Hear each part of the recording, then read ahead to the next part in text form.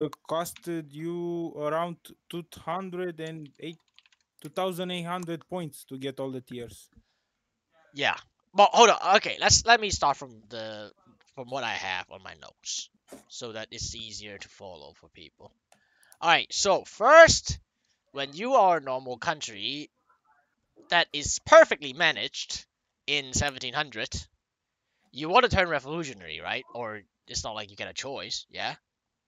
Yeah. Now, that's the problem is that first and foremost, before you actually get the spread to 100% of your provinces, then you can uh, then you can embrace it, right? Yeah. The problem is that you might actually trigger the revolution disaster before that.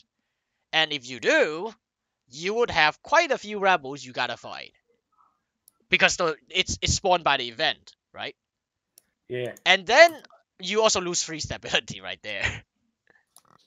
Now, here's the thing.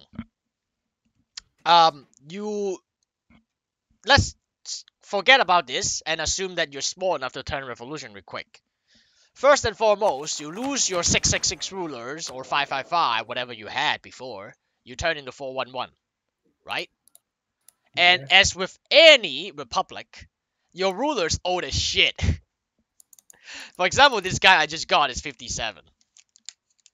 So he's probably going to die before I even get him to like 644 or 633, right? And Yeah. uh 633 is okay, I guess, but it's still not amazing. All right? But okay, forget th- this is just one of the issue is that you lose basically all your monarch points generation at right now. This can be fixed, I believe, if you go revolutionary empire, but that would cost quite a lot of time, right? I think I think you need to get your republican tradition down to 20 in order to get the event to turn yourself into like a revolutionary empire. But lose it... Wait. What? what do you mean? Wait, hold on. It it is nowadays a um it seems to be a new nowadays a reform that is in the last like level Oh, really? To become an empire. No, no, no, that's not the uh one. I'm not allowed to choose it. The imperial What? influence is 75 or greater.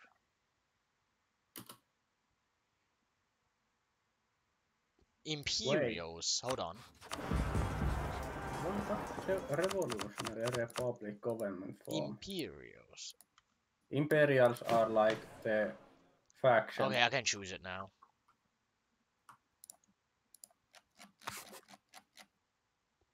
Uh. And there we go again. We're back to 50 legitimacy. it's not great. Well,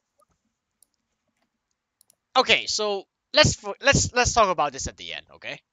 Yep. So, if the moment you turn revolutionary, you lose your fucking ruler, whatever, however good he is. You get a dumb shit that is old, like in mm-hmm. any republic, and then you start with 50 re- re- republican tradition, which is also quite pretty fucking bad, mm-hmm. because yeah. And then you start with zero religious zeal, right? Yeah. And then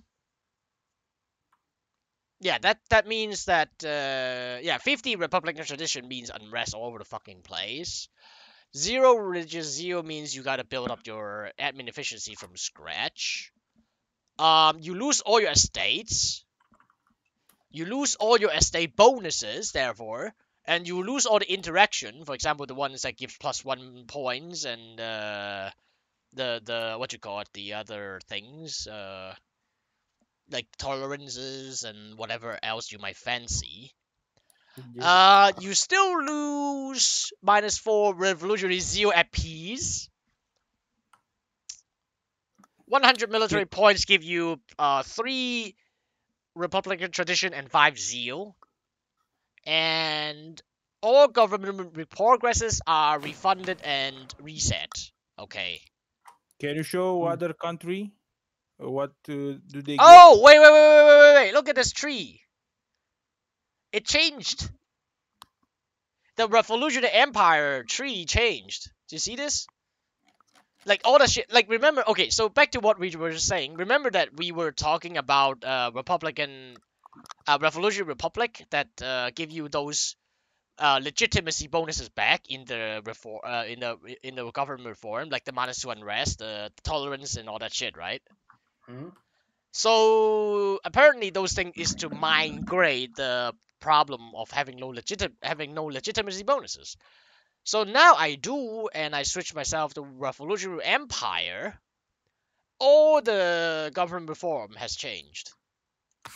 Damn. Yeah, it's just like And do you keep editing? wait like, a uh, minute, progress? you lose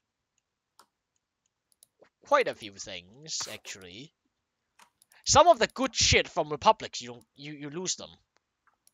Hmm. Yeah, you do. Oh Damn. no. Hold on, let me let me I still What? Oh, if you go Revolutionary Empire, you don't get estates and you lose your factions. Damn. Yeah, yeah, so you lose out the you lose out the same things again. Yeah, there's no factions. You know the faction that gives you like minus two unrest, plus five discipline, and all that. They're yeah, gone. like They're yeah, gone. Yeah, the one that also gives you plus twenty percent. God damn it, they're all gone. They're all gone. Yeah, this is no good, man. I mean, this is so much work. Yeah. This is so much work. Jesus. Yearly army tradition, learning the fire. Separation of power, yearly. It's just the same things, man. Yeah. it's just the same things. Like in general, or the government reform. Like the government reforms as a revolutionary empire and as a revolutionary republic is basically the same. Like Hmm. the things you will pick, I mean, like not the choices, but the, the things you will end up picking is basically the same things. And the total bonuses, for example, on the unrest, it's also pretty much the same.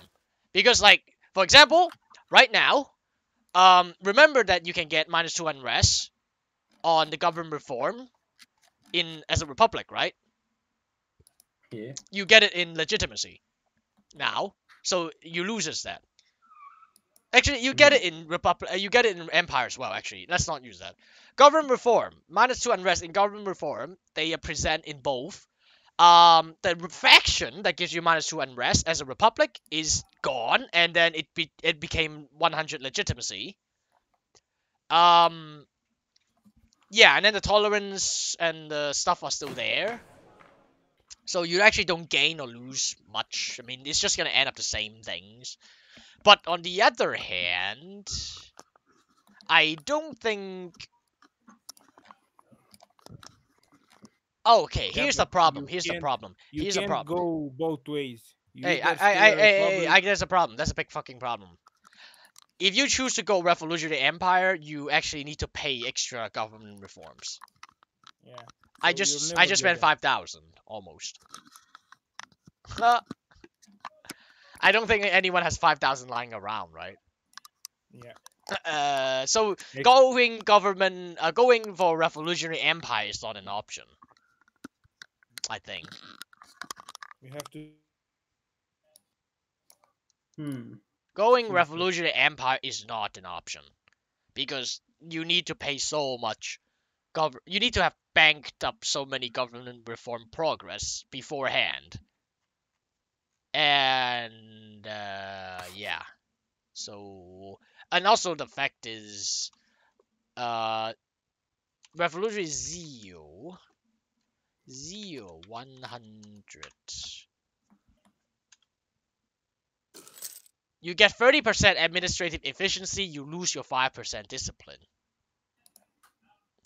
Oops! So much work for nothing.